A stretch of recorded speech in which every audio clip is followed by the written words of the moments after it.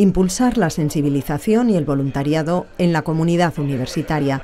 Es lo que pretende la Cruz Roja junto con las cinco universidades públicas de la comunidad valenciana y para ello han firmado un convenio de colaboración. Con este convenio lo que esperamos es eh, abrir una, puerta a la vertebración de relaciones entre la, comunidad universitaria y la Cruz Roja. En este sentido creemos que pueden haber diferentes vías de participación. Tantas como sectores de actuación tiene la Cruz Roja, una organización no gubernamental con 150 años de experiencia a sus espaldas en actividades de socorro y emergencia, salud y medio ambiente y tareas de intervención social entre los colectivos más vulnerables.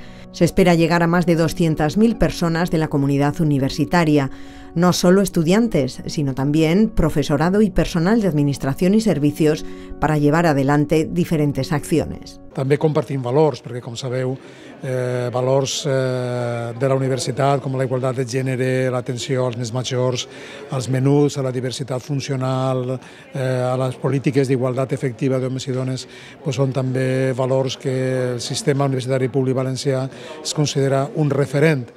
Per tant, tenim moltes coses a fer junts.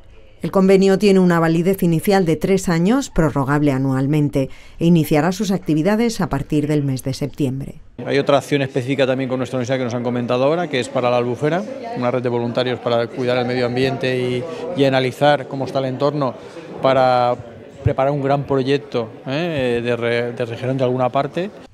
El coordinador de todas las actividades será el rector emérito de la Universidad Miguel Hernández Delche, Jesús Rodríguez.